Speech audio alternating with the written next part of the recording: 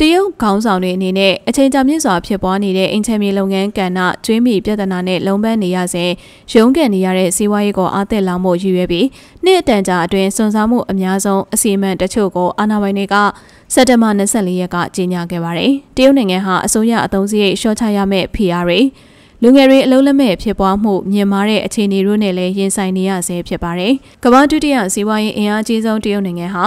ကယောဂကာလအလွန်မှာစီးပွားရေးနလန်ပြန်ထူနိုင်အောင်လှုံ့ဆော်နိုင်ခြင်းမရှိသေးပဲ2024ခုနှစ်အတွင်းစီးပွားရေးတိုးတက်မှု900ခန့်နှုန်းရရှိဖို့မျှော်မှန်းထားပါတယ်။တရုတ်ရဲ့စီးပွားရေးဟာတိုးတက်မှုနေကွေးလျက်ရှိတာကြောင့်လေးလာဆက်စစ်သူတွေကဒီမျှော်မှန်းချက်အပေါ်အကောင်းမြင်လျက်ရှိပါတယ်။တရုတ်ဗဟိုဘဏ်အကြီးအကဲကစီးပွားရေးတိုးတက်မှုကိုမြင့်တင်ဖို့အတုံးနှုံတွေကိုရှော့ချမယ်လို့စက်တဘာ24ရက်ကပြောကြားခဲ့ပြီးစားသုံးမှုနဲ့ရင်းနှီးမြှုပ်နှံမှုတိုးလာအောင်လှုံ့ဆော်မယ်လို့ကတိပြုခဲ့ပါတယ်။